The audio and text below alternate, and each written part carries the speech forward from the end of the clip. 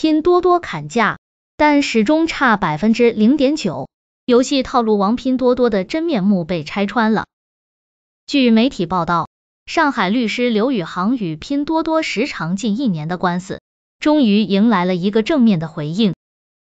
拼多多称，消费者反映的始终差百分之零点零九，实际情况是已砍百分之九十九点一，还差百分之零点九，因为部分免费砍的商品金额较大，拉少量用户砍掉的金额不足以让百分比变化，会让消费者以为砍价没有变化。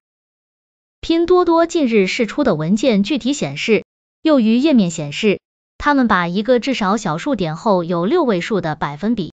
省略为百分之零点九，其实应该是百分之零点九九九六四二七。中南财经政法大学数字经济研究院执行院长谭和林最近表示，上海市在二零二一年十一月推出的《上海市网络交易平台网络营销活动算法应用指引》中提到，平台经营者应用算法向消费者进行有奖销售时。不得通过利用算法操纵中奖概率、中奖结果、中奖人员等欺骗方式进行有奖销售。潘和林称，电商平台的砍一刀存在很强的误导性，且在中奖机制上不透明，存在误导甚至欺骗用户的问题。而即使真的有人中奖，由于中奖机制上的不公平，拉相同人砍一刀获得不同的收益。也会产生算法歧视问题。其实，不管是算法歧视，还是拼多多的裂变游戏营销，近年来拼多多的用户增速放缓已经是不争的事实。而此次拼多多对律师关于百分之零点九的回应，正是向外明确透露出拼多多游戏套路王的本质。在互联网整体趋势显露疲态的时候。不论拼多多如何花样翻新的套路，似乎都无法向外界掩饰其套路王的本面目。如今，游戏玩法并不能完全帮助拼多多正向增长。随着黄峥退休后，拼多多怎么呈现出如此未老先衰的疲态了？拼多多砍价活动始终差百分之零点零九，其实是利用人性的弱点构成欺诈。去年三月底，上海律师刘宇航。向法院递交了拼多多运营方网络侵权责任纠纷案起诉材料，状告拼多多涉嫌侵害消费者知情权。与拼多多耗时近一年的诉讼历程，刘宇航经历了四次举证、被投诉、写说明、被约谈，严重影响正常工作和生活以及人身安全的全过程。最终，他得到了拼多多在庭审上这样的解释。页面显示百分比位数有限，把百分之零点九九九六四二七直接省略，显示为百分之零点九。所以刘律师砍价后，并非没变化，而改变的是小数点后六位。案件的进展推动了拼多多砍价，但始终差百分之零点九的话题登上热搜。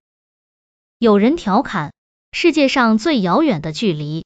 是拼多多砍价从百分之九十九到百分之一百的距离，话题上热搜，一时激起网友对于拼多多铺天盖地的吐槽。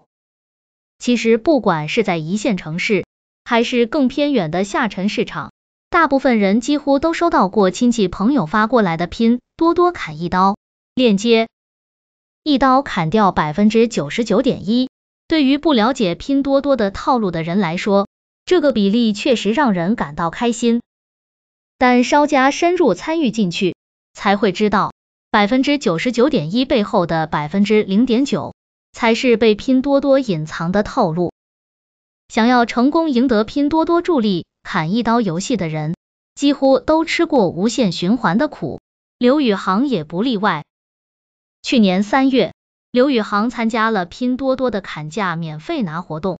过程中领取了一张超级免单卡，但邀请多名好友砍价后，始终差百分之零点九。在一次次邀人砍一刀，但仍然无法成功之后，刘宇航怀疑拼多多平台只是为了增加 APP 活跃数和收入，采用虚假数据隐瞒规则，并且利用人性的弱点，让消费者完成拼多多设置的各种任务和购买付费服务。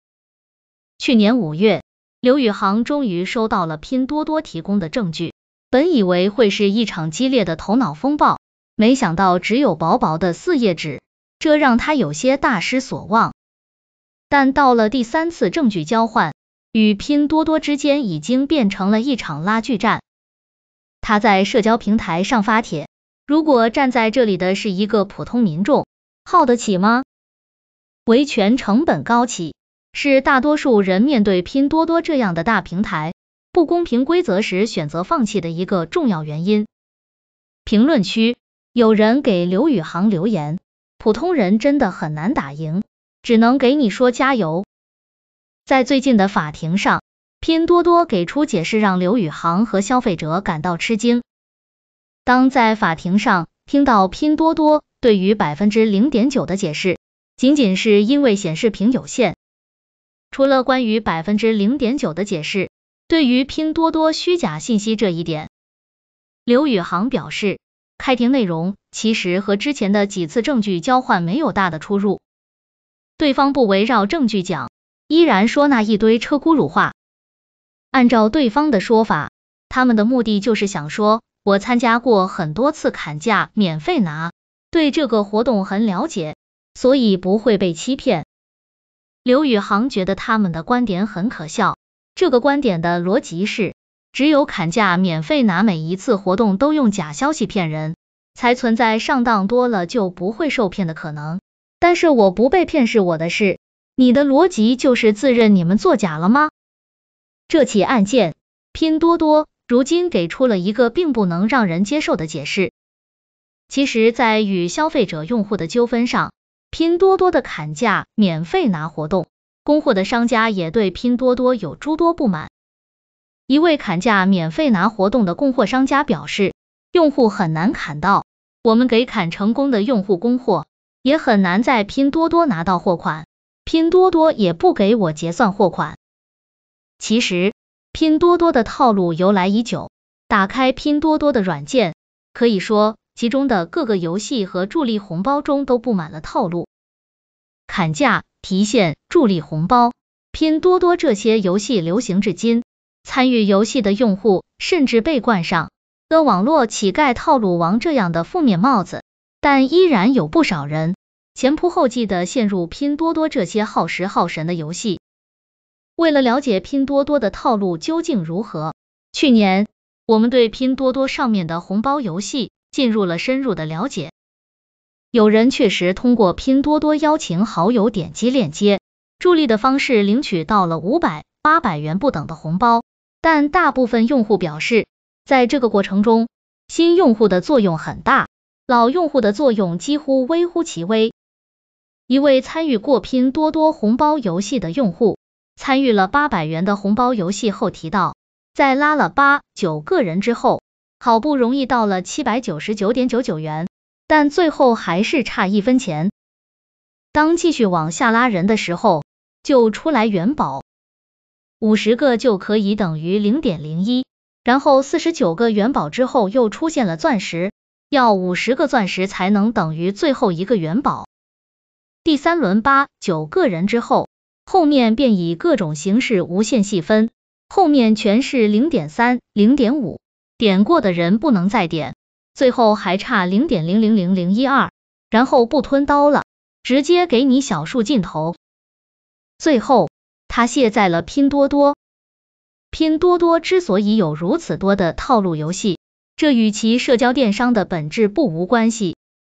通过裂变式增长的游戏，拼多多创造了互联网现象级增长的神话。二零一八年六月底，拼多多上市，那时的拼多多使用人数还是三亿人。到了二零一九年九月底，拼多多已经有五亿人在使用，十五个月，拼多多新增两亿新客。但近几年来，拼多多一直保持的高增速也正在放缓。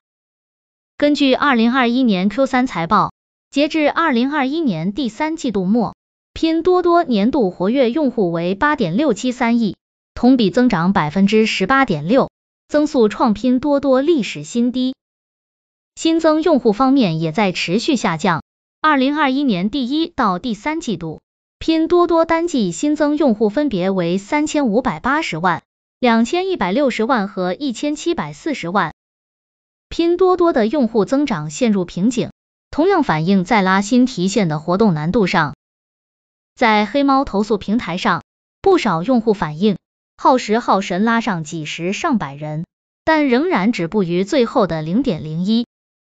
刘宇航律师和拼多多死磕，某种程度上截断了拼多多的流量根基来源。淘宝和京东两家电商巨头早已经在电商领域完成了差异化竞争。在拼多多创立之初，创始人黄峥就将目光锁定在了电商平台都不愿触及的低端市场上。最开始推出的生鲜电商拼好货。就是一种通过微信朋友圈裂变的模式。到后来，黄峥从寻梦游戏内抽出二十多人出来，孵化电商平台拼多多。拼多多的游戏属性明显并不是空穴来风，是拼多多与生俱来的基因。从寻梦游戏脱胎，拼多多一直沿用运营游戏的思路，用不断裂变、迭代更新的方式，刺激用户增长。凭借着砍一刀、多多果园、百亿补贴等活动，拼多多借助下沉市场成功逆袭。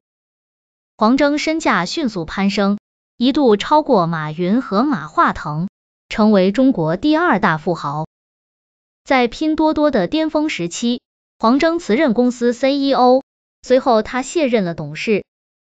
黄峥辞任退休后，拼多多的增速以肉眼可见的速度放缓。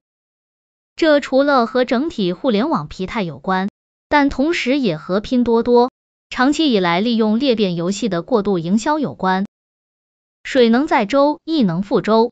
拼多多的游戏玩法，随着更多外界质疑声，拼多多似乎正在迎来越来越多的反噬。人们乐此不疲为拼多多的低价买单，但其为人诟病的套路游戏并不是无迹可寻。二零一五年九月。拼多多上线，拼多多的诞生带着消费降级的味道，这和黄峥骨子里自带的实惠和性价比几乎步调一致。黄峥曾向媒体谈起过自己谈不上贫穷，也肯定谈不上富裕，还是比较拮据的小时候。但早在谷歌上市，黄峥基本就已经实现了财富自由，但一家人依然保持了实惠为导向的消费观。黄峥身上的故事，从一开始就和冷静务实不无关系。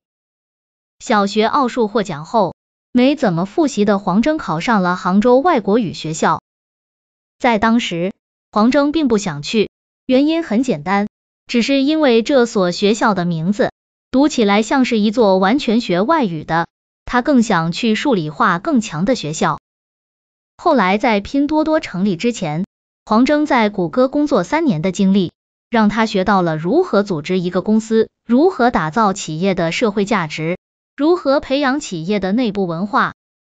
但与谷歌追求信息共享的文化氛围不同，大洋彼岸的拼多多几乎走向了另一个极端，封闭、压抑，员工间信息权限闭塞，这些颇有些独裁味道的词汇，经常从关乎拼多多的媒体报道中呈现出来。